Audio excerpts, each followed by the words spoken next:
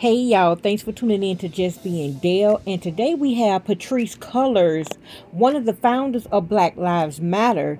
And she's here to say that Candace threatened her safety by coming outside of her house. So what happened was she said she was home and all of a sudden her doorbell rang. When she went outside, standing there was Candace Owens with a news crew. This morning I woke up to Candace Owens being outside of my house with a news crew um, she was demanding that I come outside. Um, and uh, when I looked at the video recording of what she was asking about, she was actually asking about the Black Lives Matter Global Network Foundation property. Uh, and for some reason, seems like she thought my house was that. Um, it's unacceptable and it's dangerous that anybody, any stranger, come outside of my house, but it's really unacceptable and dangerous when Candace Owens, another black woman who is actually working as a part of a right wing agenda, comes outside of my house with cameras.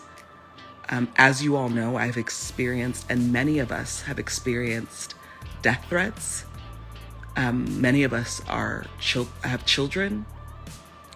And so when she says she's been experiencing death threats and things, you know when you have a founder of somewhere like Black Lives Matter, there's going to be some people who feel all lives matter but not getting the point of where they saying black lives matter. And so when it's something different that doesn't really include everybody people are going to threaten you. Plus the black lives matter has some heat on them because of some of the funding and things they've received from different organizations they have used for personal use. And Patrisse was one of the people who were named for doing that. The Black Lives Matter organization has just over a month to file required IRS financial reports for 2021. This as questions continue over the group's funding and how it's been spent. Senior national correspondent William Lajeunesse takes a look. Well, any nonprofit is required every year to submit detailed financial reports, what it raises, where the money goes, and that's what this is about. Black Lives Matter claims it raised $90 million in 2020, but documents filed for that year showed zero coming in, zero going out. Then California temporarily banned BLM from soliciting or distributing charity funds because it failed to file financial reports for 2021 prompting a charity watchdog group to say this quote the total lack of transparency and accountability at blm is alarming. It's incumbent on the attorney general to launch a full investigation of blm's finances and governance. BLM filed an extension for 21 and now has until May 15th to submit the required IRS forms, detailing again how donor money is spent and where it came from. A recent New York Magazine story reported that an associate of BLM founder Patrisse Cullors bought this mansion in Los Angeles for 5.8 million, then gifted it, records show, days later to a Delaware corporation hiding the real buyer, which was BLM, which leaked emails show tried to kill the magazine story. Cullors, a self described Marxist, resigned from BLM last year after being called out for buying several homes. The new mansion in LA, says BLM, will serve as a studio for members. Nonprofit experts, however, say it's important BLM not commingle funds targeted for improving black lives with personal interests, a question raised last year by activists. We are also asking for an IRS investigation because people donated, and we have a right to find out where our money was spent. No response from Cullors. BLM says published reports, however, are wrong but provided no proof. Congressman Darrell Issa is calling for an IRS investigation for what he calls a possible misappropriation of charitable funds. So in 2013, Patrisse Cullors, Alicia Garza, and Opal Tometi formed the Black Lives Matter Network. And it's supposed to be an online platform that exists to provide activists with a shared set of principles and goals. Okay, and then you have Candace Owens who is an American conservative influencer, author, a talk show host, political commentator, and activist, seeing what y'all are being accused of. And of course, she's going to open her mouth. Of course, she wants to know answers. And if you're not going to give them to her as she asks, probably through email, through an interview, through anything, of course, she's going to come to your door. Is that right? No. But can she do that? Yes. In America, reporters and things come knock on people's doors all the time. I'm not saying that it's safe. All I'm saying is they are allowed to do certain things. Um, many of us are um, uh, super vulnerable. And uh, the fact that she's came outside my house and demanded things harassed me uh, is unacceptable. It is unacceptable. And I'm going to keep doing the work I need to do to make sure that I'm in right relationship with my community. But I'm not going to let the right wing and right wing pundit, pundits and media try to drive me against my community and have the community driven against me. I'm begging and pleading with all of you all to pay attention to what's happening to me and to many other people, many other leaders inside of this movement. Pay attention to what's happening because what happened to me today has the potential to open up a floodgates, the floodgates of many other right wing people that may next time be bearing arms, that may next time be more violent. This is unacceptable. Black people should be able to fight for our rights, for our right to live without being harassed, without being, um, fe- without fearing for our lives. Now, don't come adding everybody in to why Candace Owens really came to your door. This is why she came to your front door with a news crew. Erica, you owe me an apology, and I want my apology. Okay, because you know, that was a long couple of years If you guys calling me a, a race traitor because I refused to be an idiot and I was obviously recognizing the scam that was Black Lives Matter. I was obviously able to discern that they were using the faces of dead black people to get you guys to run around, act like fools, get your sons and daughters arrested in protests, wearing signs, painting streets, BLM, BLM, not realizing this is free marketing. This is how marketing works in business. Everybody ran around to be a billboard for Black Lives Matter. They got white people, you owe me an apology too.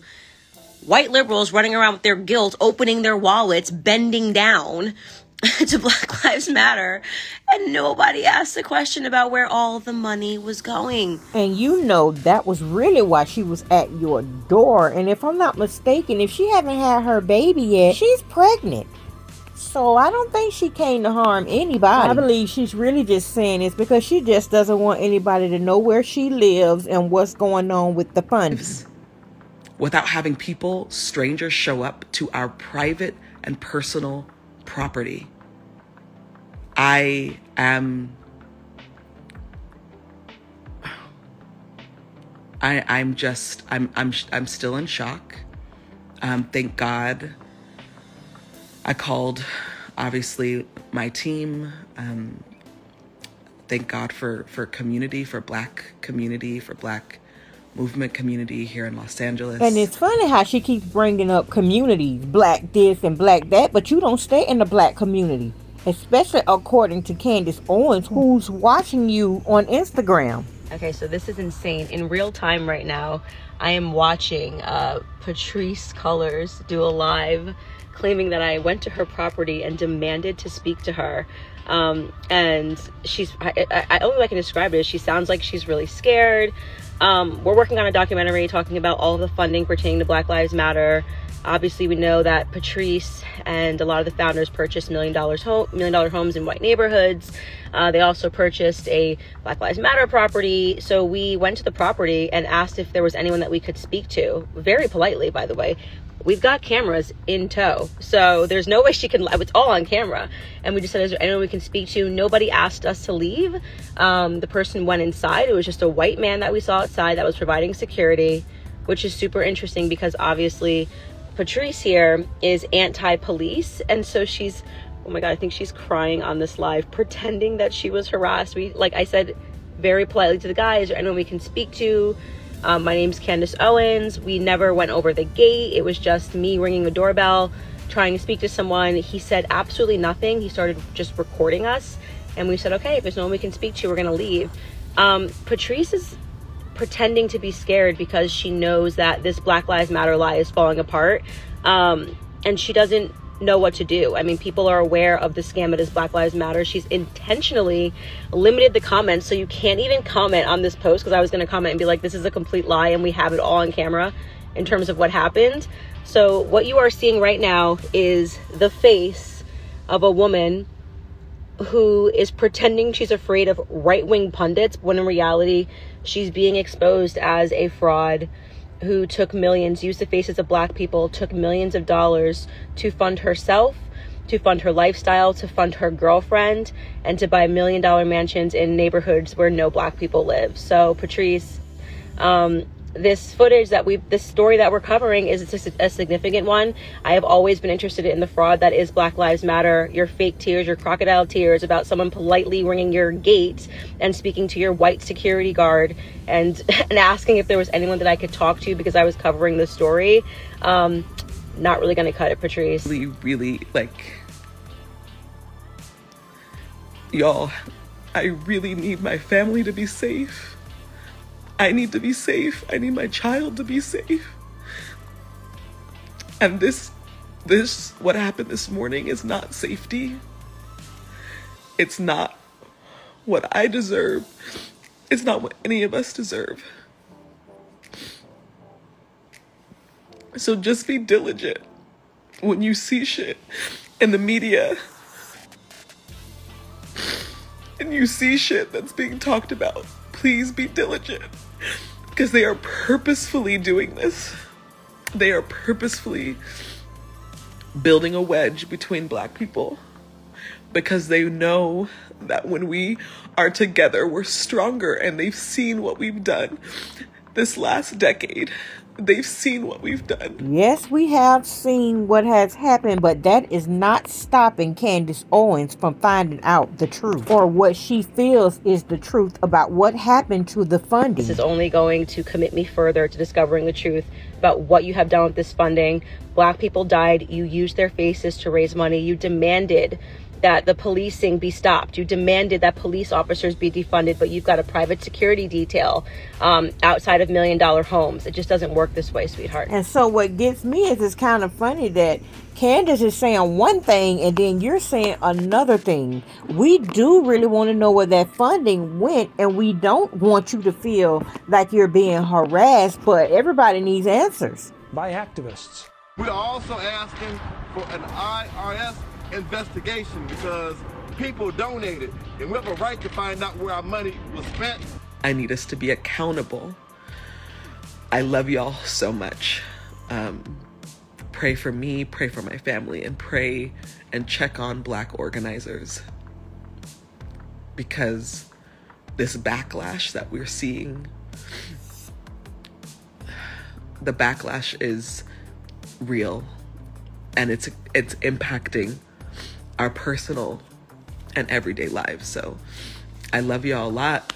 Um, I'm going to keep doing my work to be accountable and be in right relationship to the people I love and trust and love and trust me.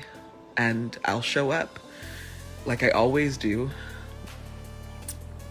messy and working hard and trying hard and with love and with joy. Um, and I and I'm gonna love y'all.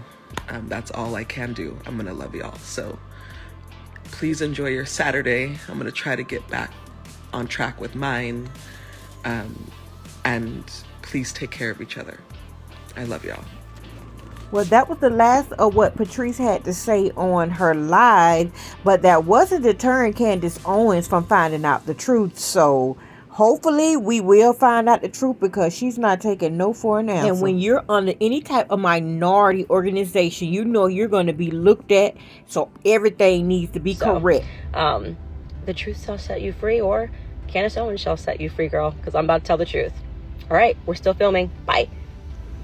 So I'm pretty sure when Candace Owens gets done, we'll probably know which side is the truth and what's really going on. Let me know down in the comments below about what you think about this entire situation. So all right, you guys, that's all I have for you right now at the moment. Thanks for tuning in. Also, subscribe to the channel for more updates. Give me a thumbs up, share if you care, and I'll talk to you guys later.